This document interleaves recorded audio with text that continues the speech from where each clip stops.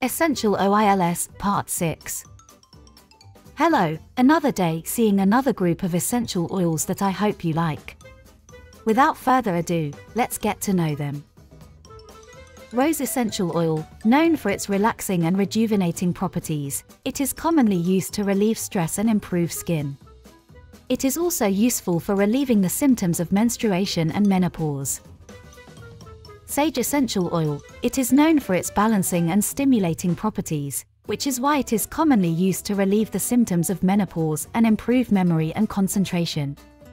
It is also useful for treating respiratory problems and improving digestion.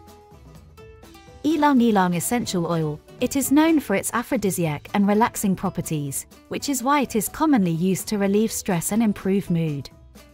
It is also useful for improving skin and hair, if you like this information and you think it can also be useful to someone else, do not hesitate to share it and leave us a like so that it can reach more people. Thanks for following us. See you in the next video.